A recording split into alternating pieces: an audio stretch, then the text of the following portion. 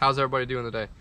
Today I'm going to do a video over jig fishing and just kind of the whole concept about how I go uh, about fishing a jig and some tips and tricks kind of help you get started and just some things that I feel like no one ever really touches base on when it comes to jig fishing and just the stuff that you can do to kind of help improve the hookup ratio and the bite ratio and just the fishing experience itself in general just kind of walk you through exactly what you need to be doing and how you need to target things. So let's get right into that. I'm going to show you guys my two favorite jigs to be throwing pretty much all year long. I switch up between the both or both of them. So let me show you guys those real quick and then we'll go through the tips. Okay, the first uh, jig that I use, which is already tied on to the rod right now, and that is the jewel jig. This is a half ounce heavy cover finesse jig. Uh, a football style head, the the top of the trailer is cut and trimmed down so it's got that more of a finesse type look to it. And it's overall it's a very very small profile jig. I mean the skirt is relatively I'll show you a new one real quick. The skirt is already trimmed up so a lot of guys will tell you to trim the skirts up to about where the hook is. I kind of like it a little bit past that trailer or that hook in general.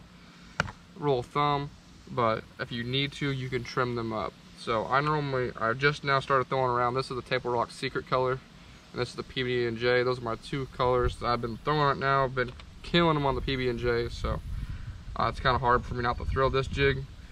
Uh, another jig that I throw around that I have a few of, different colors.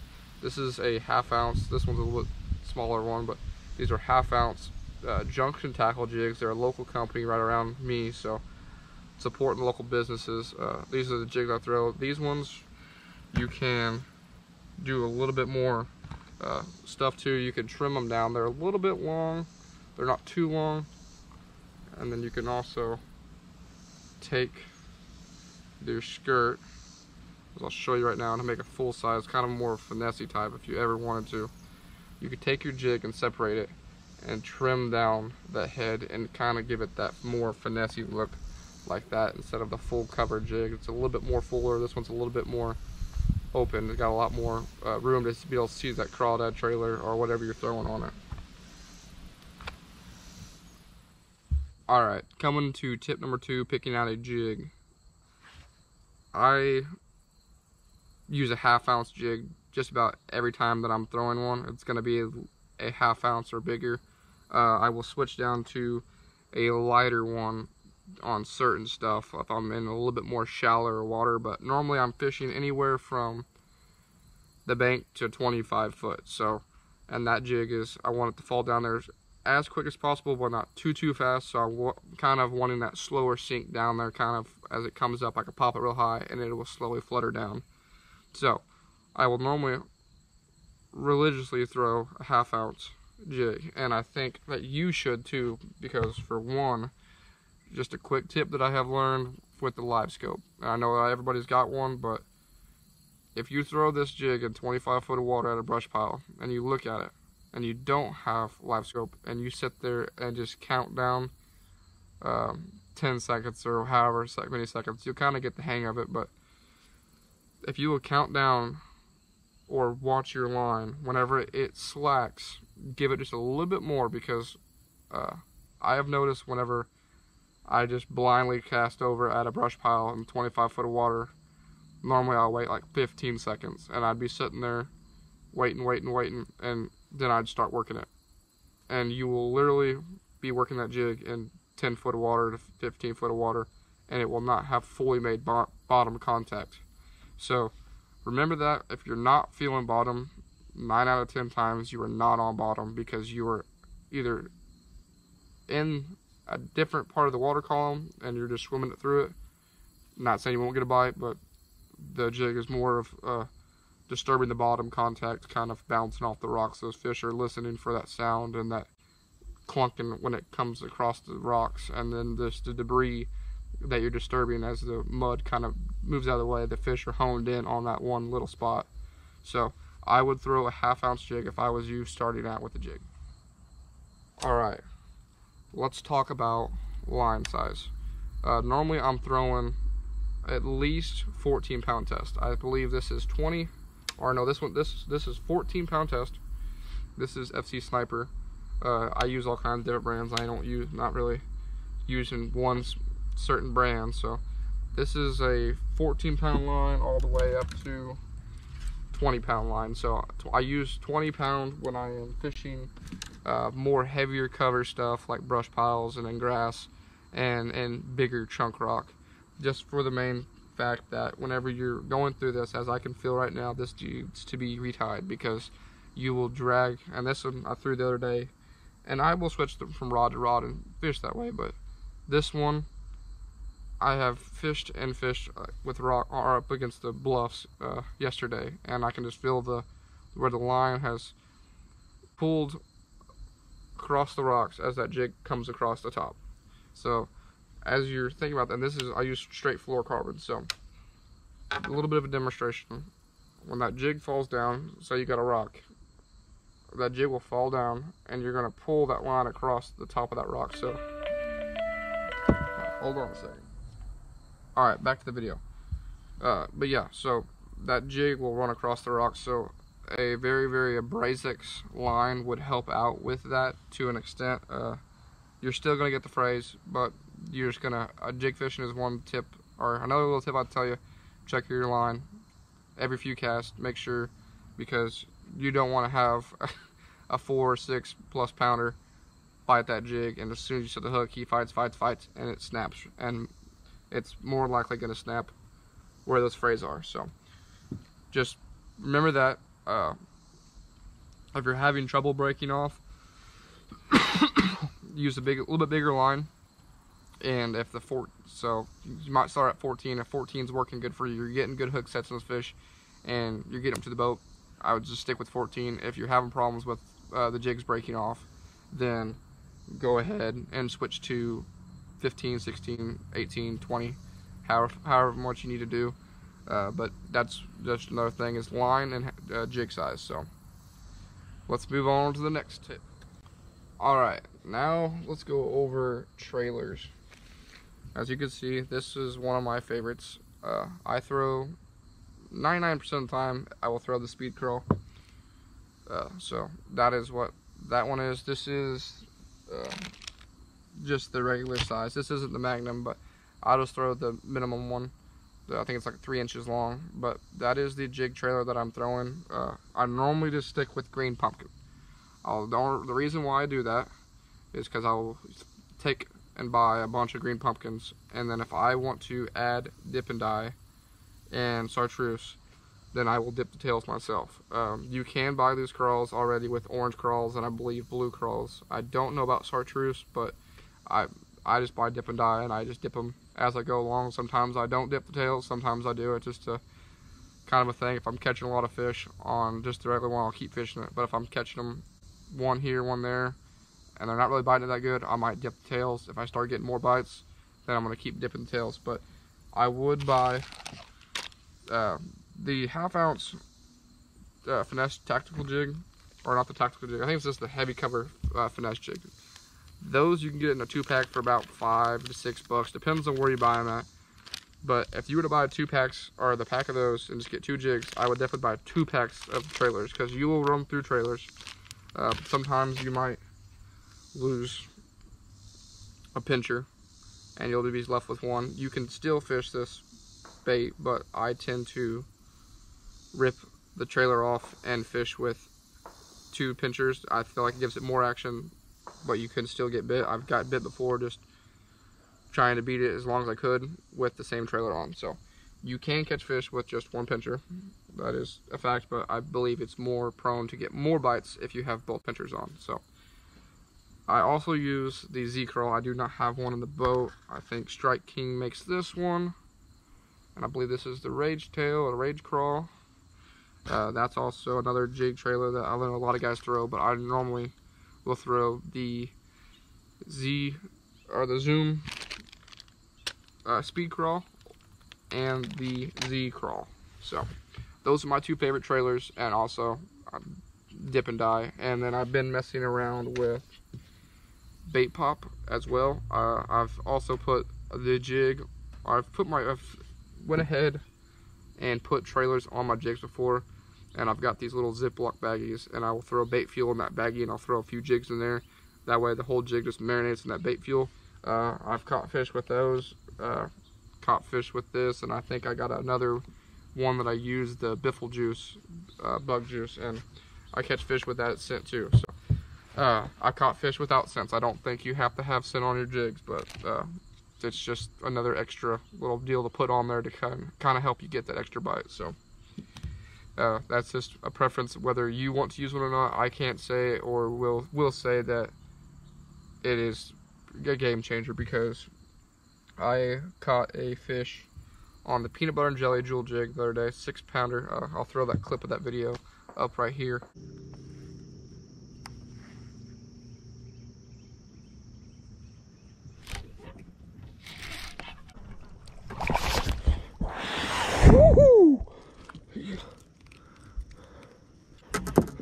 Dang. I think that's gonna be my biggest of the year. It's gonna put us some big weight chunk. But I caught that jig, or that fish on that jig, and it didn't have no scent, and I believe it didn't have any dipped pinchers either, so. And she weighed 619, so. Let's go ahead, and I'm gonna switch to kind of show you, or explain to you what I'm looking for when I'm fishing. Okay, when I am fishing uh, on like Lake Taneycomo, let's just use that for instance because that's what I've been fishing here lately. But we'll go over a couple other, or at least one more other lake because I have two different lakes that both are kind of a river system, or I guess they are river system lakes. Uh, but on Taneycomo, when I'm fishing the jig, on that lake there's a lot of grass. So, and you'll have big clumps of grass that will wrap around a bank, and you'll have uh, separation between the grass line and the bank and then the grass line and deep water. Uh, sometimes the fish are positioned up on the backside from the bank to the grass line, so I will throw those areas. And then sometimes those fish are positioned in front of the grass line to deep water, and they'll be tight, tight up next to it. So sometimes I will go uh, horizontally with the grass line, and I'll take that jig, cast it down through there, and I will drag it along the edge of that grass, kind of just trying to mimic a, a crawdad out there that popped out of the grass and just moving back in it or traveling down the edge of it. So uh, that is a, a, tip I would say on Taneycomo. That's how I'm fishing it. Uh, I'm also fishing it on the bluffs. So I'm looking for contour lines that are really, really tight and they're dropping steep to deep water. I'm looking for those kind of contour lines on uh, your map. So if you're looking at your graph and you're trying to find stuff, find banks that are really really steep and they, and the contour lines are really really tight dropping down. Uh, I'm fishing and most of the time I'm fishing vertically those those banks. Sometimes I'll fish them horizontally but uh, probably 60% of the time I'm going to be throwing them uh, vertical to the bank running down the bank and dragging it. And normally fishing into 25 foot of water if you have live scope it can kind of help you. I just use it to pan up and look and kind of see where I can see the fish positioned up on the bank if you don't have Panoptix, uh, like I said in my previous video where I fished and caught a 20 pound bag on the jewel jig, just work the bank until you start getting uh, productive bites. So if you're fishing up there and you're getting bit on the bank, then keep keep beating the bank. But if you are having to work that jig out into that 15 to 20, 25 foot of water to get those bites, then continue fishing that that uh, that depth of water because there's no sense in just working a bank on the just working a bank and just go up there flipping the bank and that's you're just working five foot and leaving. Uh, if you're getting bit like that, then do it. If you're not, fish deeper and try to find out where those fish are sitting up that day. And sometimes in the morning they're gonna be up, up really really tight to the bank, and sometimes in the afternoons they're gonna start pulling off to that little bit deeper water. That sun's popped out, so they're gonna get that little bit cooler thermocline uh, edge of the water, so they're gonna go a little bit deeper and a little bit darker shaded areas. So it's just a kind of learn from fishing and feeling. So that's my tip of on Taneycomo, on bull shoals, the same thing. Kind of just finding the tight, tight, tight uh, banks. And I think you can do that just about anywhere. Uh, I know there's a time and place whenever trees. You can fish flooded trees. And then there's a place for docks. I, I fish docks. I fish posts, I fish the floats. Uh, that's also a, a, deal you can do with that lighter jig. That lighter jig, you toss it up there and it sinks very, very slow. So it'll, it gives them, it's in that strike zone a little bit longer for them to kind of not want to have to pull off that float and they can just suck it down and go. That half ounce jig is going to fall a little bit faster and leave that strike zone just a little bit quicker. So, but that's all I have for how I'm really fishing. And that's me just breaking down a jig the best way I could possibly think of it. And I hope that some of these tips help you uh, getting better at jig fishing because I don't have very, very many, but I'm always losing them. So you will lose them, but I love jig fishing. I've been doing it uh, pretty much my whole life, but this is really my first year getting in my boat and going down the lake and finding new spots and learning how to fish it from the boat's perspective. On the bank, uh, it's the same thing. Casting out deep, kind of toss a turn, throw it out deep on the bank, and when you're on the boat, throw it to the bank, working it out deep. So, and sometimes them fish, whenever you're in a boat, that's how they like it. Uh, they want it away from the bank. Sometimes you're on the bank, they want it worked up the bank. So, anyways, that is it for that. So let's move on to another topic for today's video. Alright, sorry, I'm trying to make this as sweet, short, and simple as possible, but I'm trying to shove in all the little gooey details for you to kind of help you get better at the or on the water throwing a jig as best as I possibly can. Uh, I know you're going to hear some of the stuff that you've heard from many, many other people. Uh, but anyways, I think the the probably the biggest key is go through different colors, half ounce jig if you're starting out. Just go buy half ounce jig. Make sure you are on the bottom. You're feeling the cover as you're dragging the jig. And set the hook on it. I mean, it's the bite is going to be different. Uh, I've fished and it's ticks, and I fished and it's just the run with it, and I fished and it's just kind of a, a mushy kind of pulling away from you almost feels like a branch if it's under the water and it's got you're pulling on it but it's kind of pulling back. It's just, you'll it's just a feel game. You'll learn over time what a bite is and what a tree is and drag it.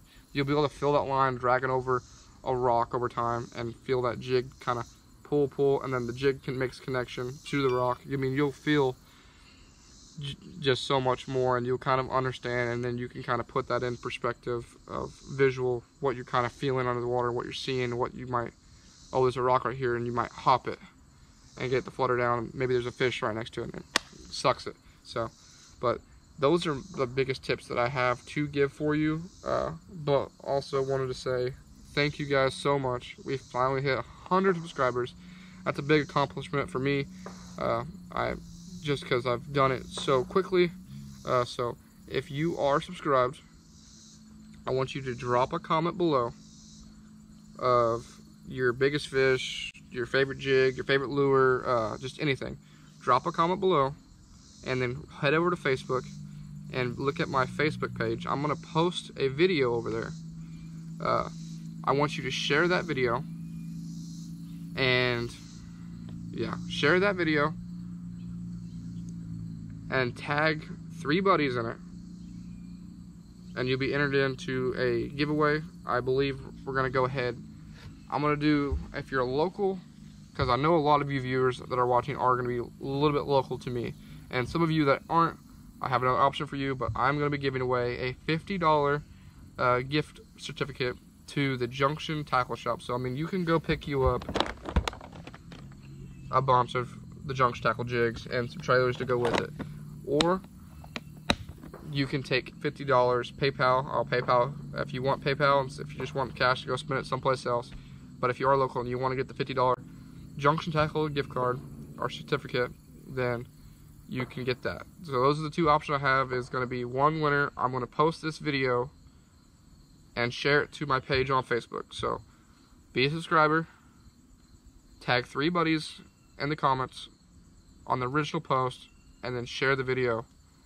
And that's how you're entered to win. So thank you guys for watching so much. Uh, hope you learned something today as I went over kind of explaining how I'm jig fishing and what I'm doing. So Uh, if you would, please like the video, hit that subscribe button so you can get entered into this giveaway and win 50 bucks. It could be anybody. We're going to do a drawing. I'm going to spin a wheel. We're going to do it live on Facebook, my Facebook page. So stay tuned for that. Uh, catch you guys on the next one. Thanks for watching.